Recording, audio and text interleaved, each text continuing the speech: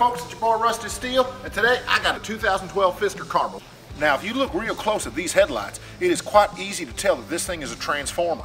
One thing I'm not sure of, Decepticon or Autobot. I'm not seeing any proper badging to let me know that. Further proving my theory that this thing is a transformer, if you look at all these veins, these varicose veins that it's got going along its upper part here, this tells me this is how it gets all its blood going to its brains over there. Still not seeing badging whether or not it's a Decepticon or Autobot. I'm a little scared to be around this thing, but I gotta tell you, it is alive. I can tell you right there, there's blood going in those varicose veins. Filling her up, quite easy. You just push this thing in, let it bounce out. What in the hell is that? Clearly somebody has played some sort of practical joke on me and plugged my gas hole up freaking punks. This is amateur hour. What kind of? Take a gander at this 2.0 liter turbocharged engine, okay?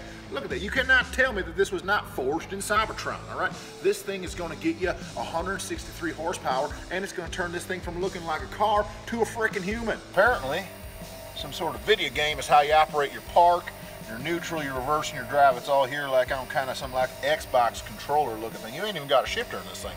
That's just weird. Okay, clearly the flux capacitor is in here. I might have been wrong this whole time. I don't think this is a some sort of transformer. This actually might be a time machine. Yeah, look at that. Look, look. We are experiencing technical difficulty. Tell me that's not the flux capacitor. That is definitely pumping out about 1.21 gigawatts. So I personally don't know if you should go above 88 miles an hour in this car, okay? Because if it's got a freaking flux capacitor, who knows where you end up. Look at it. Look at it. You hit right here flux capacitor activated. That's what that does. That is impressive. Holy cow.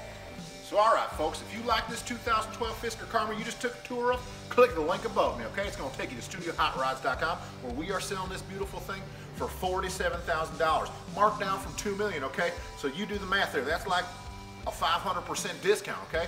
Click the link above me. Go to it. Our prices are so low, you're gonna think you stole it.